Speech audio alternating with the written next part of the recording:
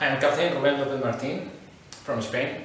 I am the public affairs officer of uh, the battle group, NATO battle group, which is currently deployed in Latvia as part of the enhanced forward presence of the alliance in the Baltics and Poland.